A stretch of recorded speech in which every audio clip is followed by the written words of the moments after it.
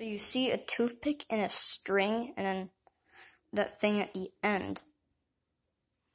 Well, if you look down, there's a full water bottle with water in it. This little toothpick right here is holding a water bottle with water in it.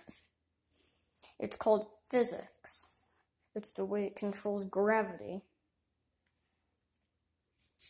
And if you put it through toothpick right there, right there, it gets it wider and it stretches it out and it gets it to hold it because it's controlling gravity when it's sticking to a table. It kind of makes it like gravity is controlling it, but it's actually physics and that. And this is another science video. Make sure to subscribe and hit the like button. Bye.